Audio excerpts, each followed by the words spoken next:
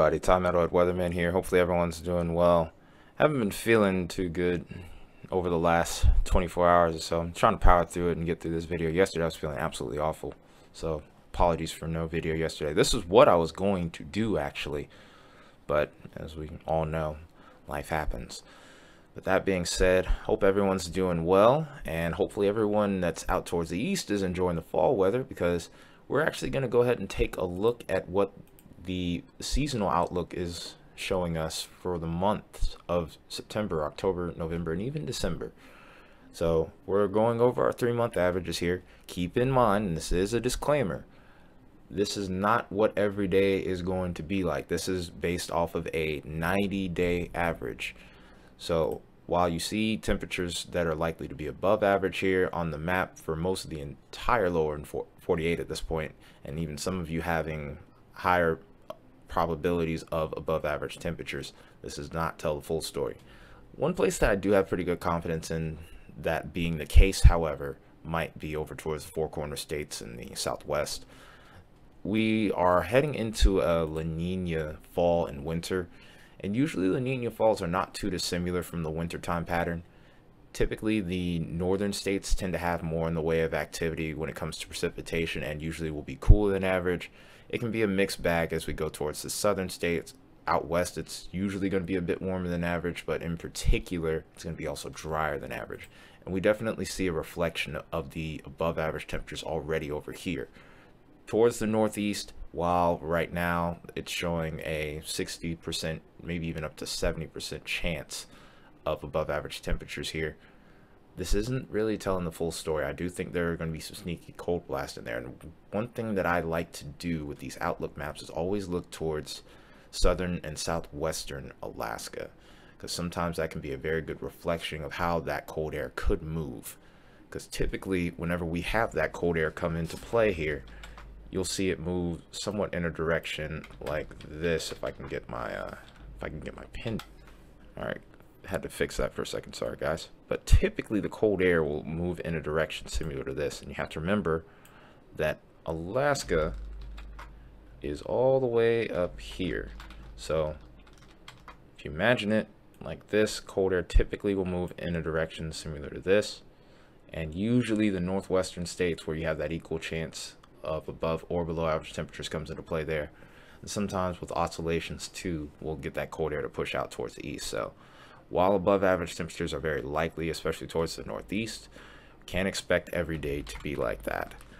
Even for the uh, southern states here where that probability is pretty high as well, we're still going to have to keep an eye on that as well. I do think that we may have some pretty topsy-turvy type of months here, especially towards October. October we'll talk about a little bit later, and we're going to get more in depth as time goes on as we get later into this month. But again, we mentioned before, typical of a La Nina fall and winter. Northwest, Northwest looking pretty active. Towards the eastern half of the country, especially the east coast, still looks like we're dealing with above average chances of precipitation.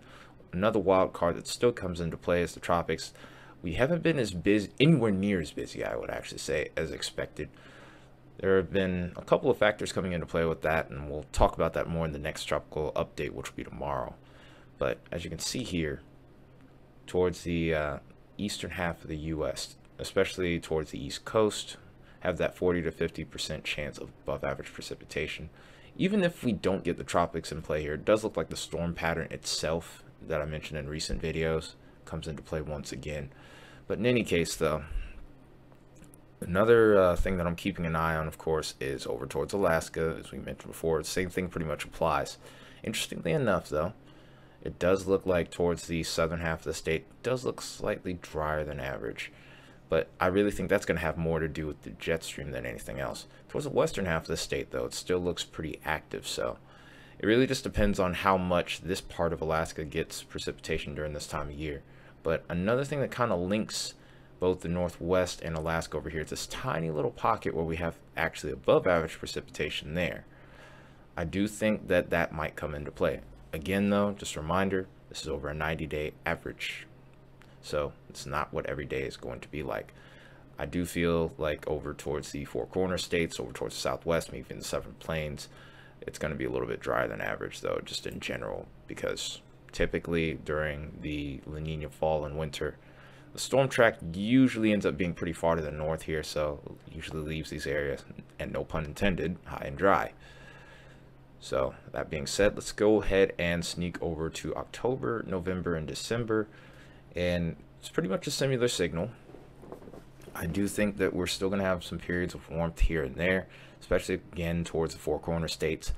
At this point, I don't know when exactly right now because obviously we're looking really far out into the future. I do think the southeast ridge will come into play and keep parts of the south warm.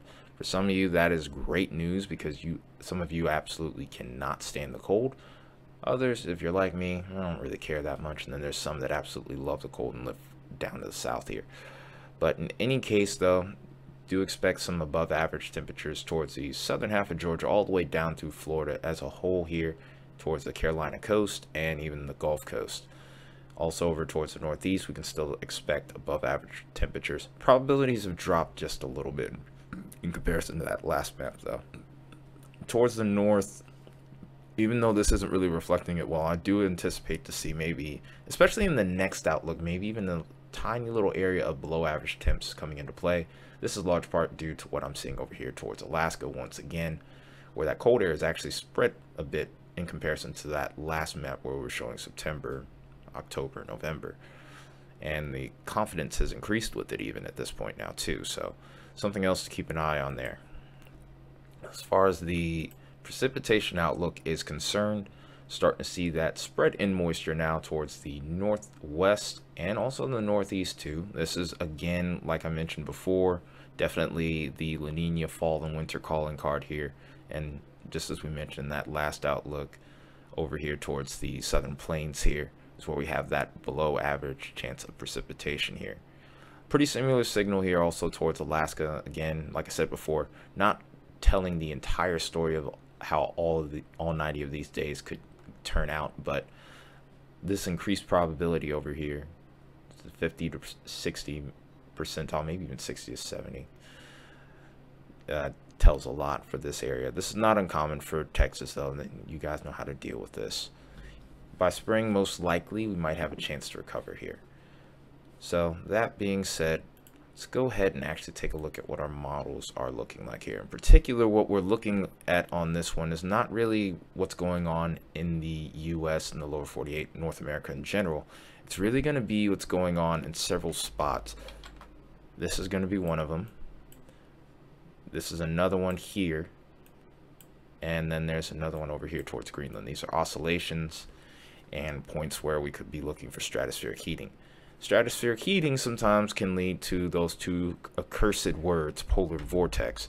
So it's always something that we have to watch for, especially as we get later into the fall and into the winter. So this could, of course, bring below average temperatures into the equation as well. So interesting thing to make note of here, do have a positive Arctic oscillation, a positive AO. This does sometimes a lot for cold, well, actually, a lot of the time it'll, it'll allot for cold air to come into play for the U.S. here. And this is, of course, over a 30-day average. See this nice little blob of cold air over towards northern Canada. With that oscillation, does have a chance of sneaking its way down into the into the northern states here. So that's why I'm kind I've kind of been side-eyeing that in both those outlooks. I do think that there could be a slight change to below average um, below average temperatures here, almost said precipitation. And then look what happens in November. This is a big deal right here.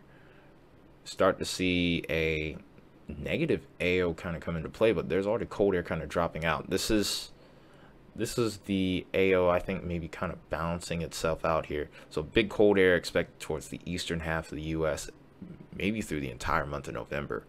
Like I said, it's not what every day could be like, but considering that this might be the average here, definitely something that we're going to need to pay close attention to. I do think this affects the weather pattern as a whole here. Severe weather could come into play. And then also December looks pretty interesting as well, but it looks like it's going to be shifting back out towards the west. We do have a negative NAO here over towards Greenland, so I do think the northeast will still be pretty chilly as we head into the month of December here. So something to keep an extra close eye on as well. So this is what the temperature map will show a reflection of as we go forward here. As you can see, this is October, still expecting mostly above average temperatures, but again, like I said before, significance is still to be questioned at this point. We're maybe about a degree Celsius, so it could be about 10, maybe up to 20 degrees difference at best with some of these. I do think that uh, there are going to be some areas in between certain weeks where we're dealing with below average temperatures. So this is still variable, but I would say that right now that it doesn't look like October is going to be terrible for a lot of us. I don't expect to see much in the way of record highs. There could be some record lows. Mornings should be nice, but we may deal with a lot of average days over here. So we get towards November. This is the big month. Look at how much of a difference we have here over towards the northeast, the Great Lakes, and even parts of the northern tiers of the Midwest here. About 10 to 15 degrees below average, maybe even 20. Even greater below average temperatures over towards Canada. Not much to be surprised here. I do think by this point, the southeast ridge may come into play here for the deep south here. I don't know how significant that will be, of course. We're still looking months out in advance. But this does kind of make me wonder if by some point towards late October, early November, I honestly would want to go as far as to say maybe mid to late November, this might come into play here. Then we show the reflection of December, and we're starting to deal with much more warmth towards the deep south here. A little bit of cold air trying to sneak in here and there over towards the northern states. It does lead me to wonder, though, what could happen if these two end up colliding? That could be a big question in regards to severe weather. Not trying to scare anyone, but we know that thunderstorms are caused by a collision of warm and cold air masses. So I'm watching this very closely. So that being said now, let's go ahead and take a look at our precipitation map here. And this will be the final map we're looking at here. As you can see, not much in the way of moisture over here for the month of uh, October here. We're expecting mostly uh, equal chances or below average for good chunks of the U.S. here. But if we get into November, that's when we start to see that see a uh, more quiet pattern start to take shape here unless you're over towards the northeast. And depending on when that cold air mixes in, there could be chances of snow as early as October, late October, maybe early November, and that could be uh, prominent through the rest of the month here. Get towards December, and this kind of solidifies my uh, concerns a bit with a more active weather pattern and maybe severe weather chances is seeing the above average chances of precipitation here on this model here. We also see the increase of precipitation out to the west here too. So that kind of piques my interest in particular with maybe the chance of an atmospheric river returning. It's not uncommon that this has happened. This has been happening in the last couple years. We're going to be, of course, monitoring that as we go further beyond as well. So these outlooks tend to usually come during the middle of each month here. And then sometimes we'll do a review of this if, if it's needed.